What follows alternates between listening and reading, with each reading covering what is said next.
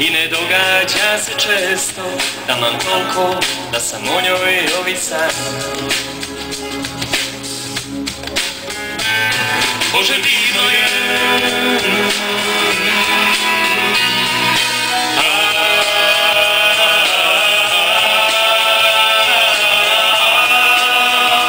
Je te donne ma liberté